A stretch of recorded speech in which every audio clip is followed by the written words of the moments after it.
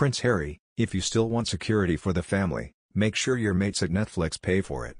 Claimed by Sarah Vine. Following Prince Harry recent protection row Sarah Vine had commented on the Daily Mail, Prince Harry does pick his moments, doesn't he? Just in case the Queen had temporarily forgotten about the nightmare that he and the Duchess of Sussex have visited upon her in recent months, here he is to remind her that, whatever other pressing issues she might have on her plate, it's all about him. What a whining, pathetic bore this man has become. What an entitled, tedious little ingrate. He's trashed his family, splashed his grievances all over the world's front pages and kicked his 95-year-old granny when she's down. Now he needs to make sure that he doesn't demand she, or the British taxpayer, has to stump up for his family's protection when they are in the UK.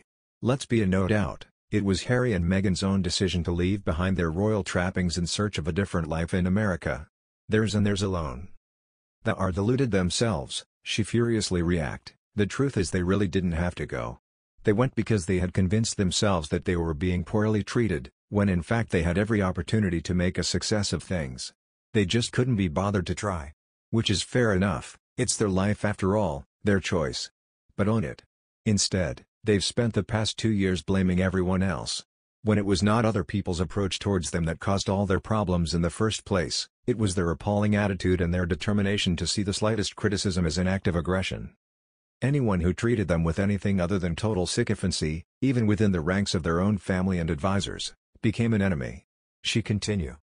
Truth is, we all adored them both until they started acting like a pair of woke evangelists, lecturing the world about how people should behave while demonstrating spectacular levels of hypocrisy and arrogance.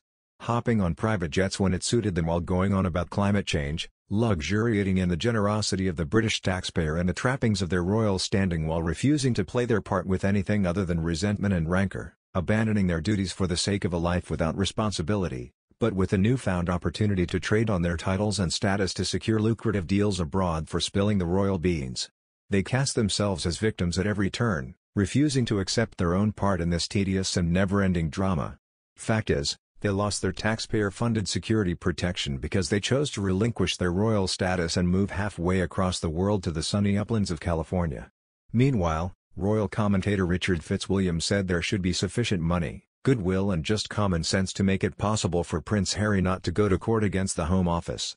Mr. Fitzwilliams noted the Duke of Sussex is no longer a working member of the firm but remains a prominent royal as the grandson of the Queen and second child of the future king. He told the I newspaper, Harry is no longer a senior working royal of course, but of course he is sixth in line to the throne. If he were for any reason to appear in court against Her Majesty's government, this would be in the realms of the surreal. The Duke of Sussex, Mr. Fitzwilliams also said, has understandable concern about his and his family's security, given the tragedy of Princess Diana's death. The late Princess of Wales died in a car crash in Paris in 1997 while being pursued by the paparazzi. He also said, Surely there is enough sense around to arrange security if they want to come over, in one way or another, without a court case, because that really does seem somewhat daft. A legal representative of Prince Harry revealed over the weekend the Duke had filed in 2021 a claim for a judicial review against a Home Office decision not to allow him to pay for police protection while in the UK. The statement said the Duke has previously offered to pay personally for UK police protection. It read, after another attempt at negotiations was also rejected, he sought a judicial review in September 2021 to challenge the decision-making behind the security procedures, in the hopes that this could be re-evaluated for the obvious and necessary protection required. The UK will always be Prince Harry's home and a country he wants his wife and children to be safe in.